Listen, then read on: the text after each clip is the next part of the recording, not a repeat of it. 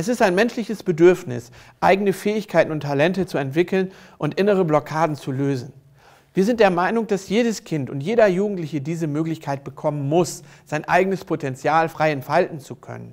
Wir wehren uns dagegen, dass immer mehr Kinder und Jugendliche unter immer größerem, unterschiedlichstem Druck stehen, ohne zu wissen, wie sie damit umgehen können. Dadurch entgehen ihnen wertvolle Zukunftschancen.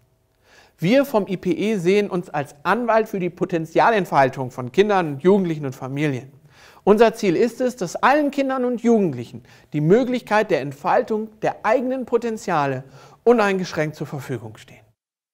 Ich bin der Meinung, dass wir nicht nur auf die Bedürfnisse der Kinder und Jugendlichen eingehen müssen, sondern ihnen gangbare Wege zeigen sollten, die sie auch selber beschreiten können. Dafür brauchen wir individuelle, wissenschaftlich fundierte Methoden, da jedes Kind anders ist. Informieren Sie sich und zeigen Sie Ihrem Kind seine Möglichkeit zur individuellen Potenzialentfaltung durch einen IPE-Fachmann vor Ort.